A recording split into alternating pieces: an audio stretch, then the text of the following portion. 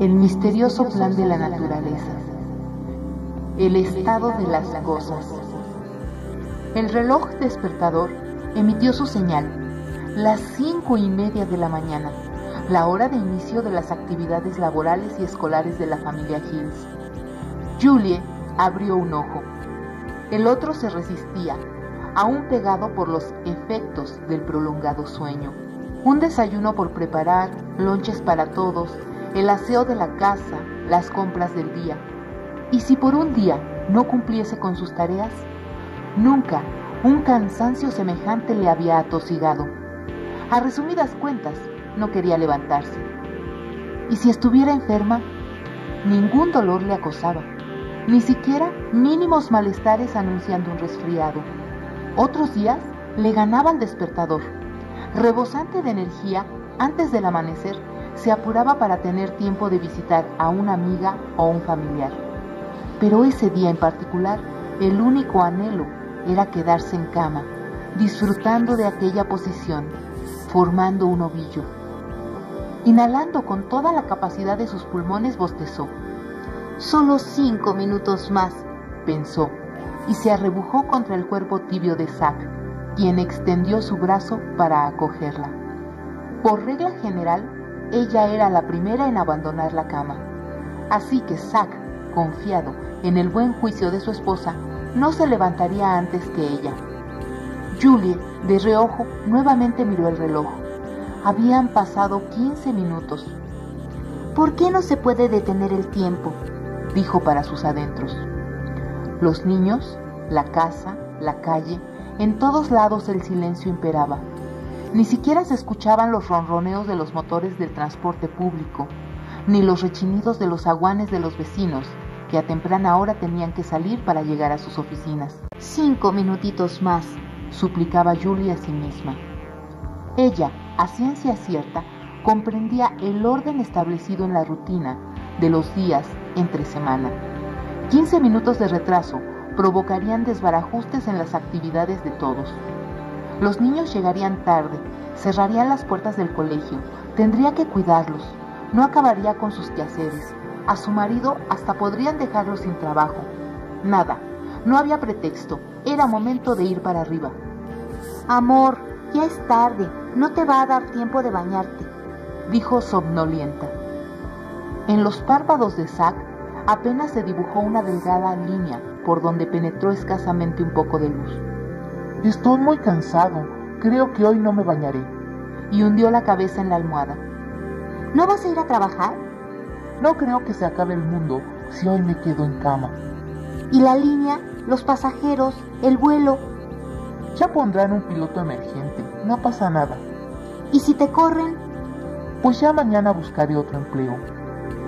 Ciertamente, Julie quería dar un salto, ponerse en acción, levantar a la fuerza a sus hijos y a su marido, meterlos al baño y mandarlos directos, uno a uno, a hacer sus respectivos quehaceres. Por todos los medios trataba de ordenar a sus brazos, a sus piernas, a sus pies que se movieran, pero era como si no le obedeciesen. Una huelga generalizada lograba que ninguno de sus miembros corporales hiciera caso alguno. ¿Me prometes que todo estará bien? Dijo con sus últimas energías. Sí, te prometo que mañana todo estará bien, escuchó decir lejanamente a Zack y confiada ante la promesa de su esposo, se dejó ir de nuevo a la tranquila inconsciencia del sueño.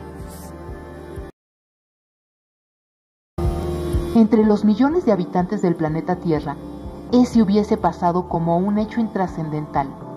Dos personas o una familia a quienes por un día la flojera, el cansancio o el agotamiento les obligaba a quedarse en cama durmiendo. Un caso aislado, cinco, diez o mil, dispersos en todo el mundo, no representarían absolutamente nada. Sin embargo, lo inusitado, lo de verdad increíble, fue que, sin excepción, cada habitante experimentó el mismo cansancio. De igual forma, les invadieron pensamientos similares. No pasa nada, mañana veré cómo lo arreglo. No se va a acabar el mundo. Hoy solo quiero dormir.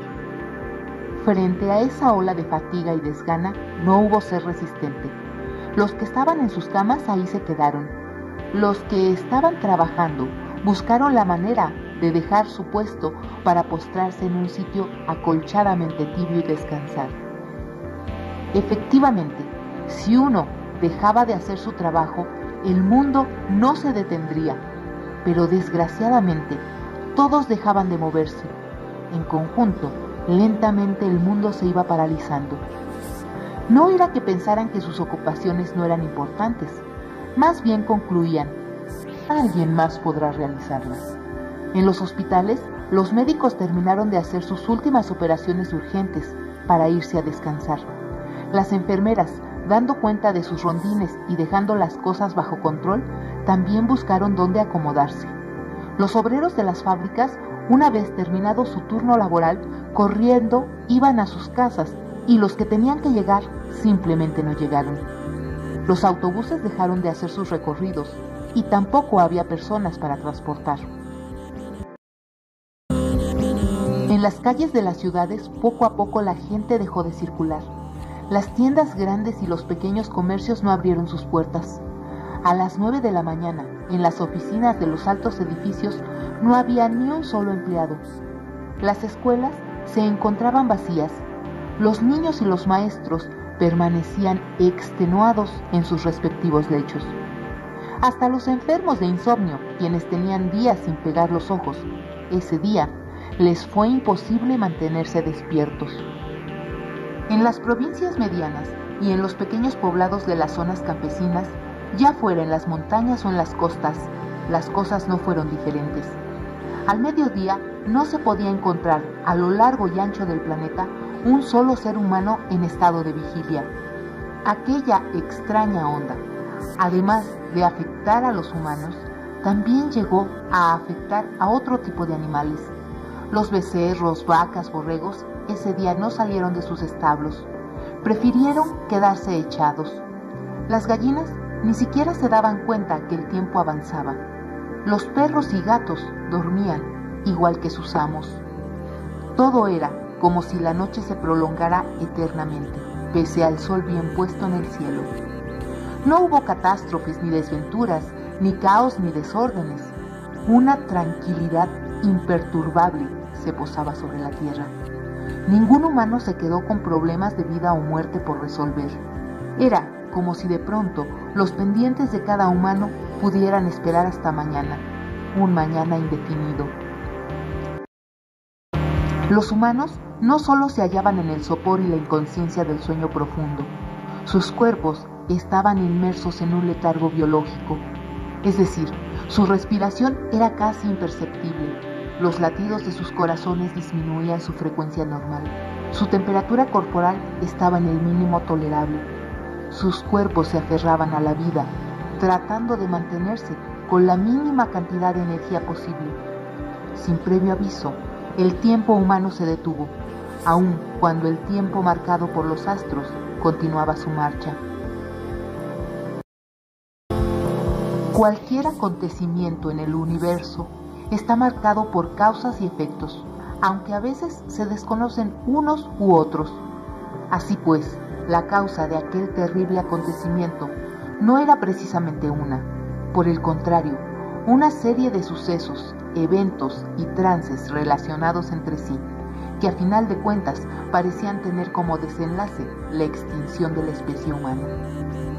Una de estas causas se remontaba a épocas en las que aún ni siquiera existían los hombres, tal como se reconocen actualmente, sino cuando todavía arrastraban los brazos por el piso y a su piel les cubría una densa maraña de pelo.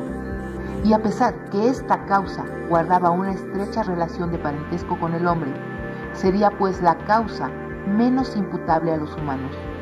Pero fuera de ahí, las otras causas que los estaban condenando a la muerte, sin excepción alguna, eran su responsabilidad. Por decirlo de otra manera, si hubiesen tenido ojos para ver y oídos para escuchar, cada ser humano no estaría pasando por aquellas penurias, que a decir verdad podían ser peores. Aquel sueño probablemente solo le ahorraría a la humanidad los dolores de la muerte, cosa que se le tenía que agradecer a una diversidad de organismos, los responsables del profundo sueño letárgico del hombre, como se veían las cosas, sin posible solución, consideraban que no tenía caso despertarlo para verle sufrir más. Pero claro, para llegar a este terrible final, muchas otras cosas tuvieron que suceder, unas dentro de este mundo y otras fuera de él.